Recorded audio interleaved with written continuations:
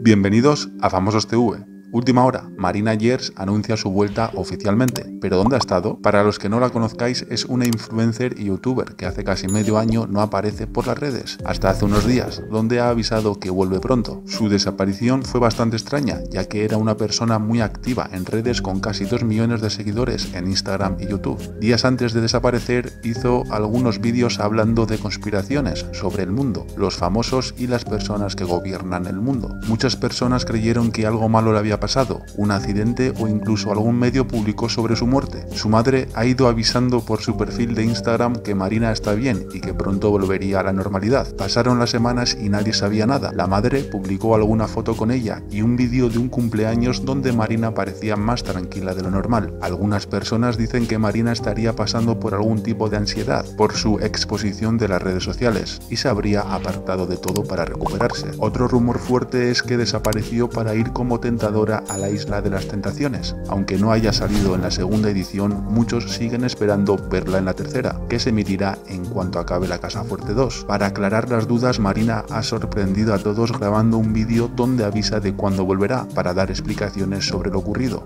Pero que no os preocupéis por mí, que yo estoy súper bien, que todo muy bien, la verdad. Cuando vuelva ya contaré todo lo que pasó, que porque no estuve en las redes y tal. Y nada, y eso es todo. Y dentro de nada vuelvo el 1 de diciembre, así que...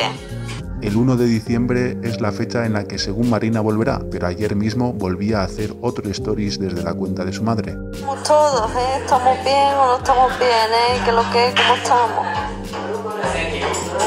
Veremos qué nos cuenta Marina en un par de semanas. Todo apunta a que su participación en la Isla de las Tentaciones pueda ser verdad, ya que vuelve en diciembre y la Isla de las Tentaciones 3 se estrenará en diciembre o enero. También es raro que haya estado tanto tiempo sin aparecer en las redes o en YouTube su trabajo porque haya salido en la Isla de las Tentaciones. Veremos a ver qué pasa. Suscríbete, comenta aquí abajo qué opinas, dale a me gusta y nos vemos en el próximo vídeo.